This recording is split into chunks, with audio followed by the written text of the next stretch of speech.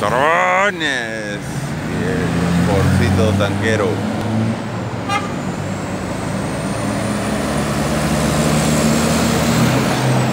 Se debe en tanque,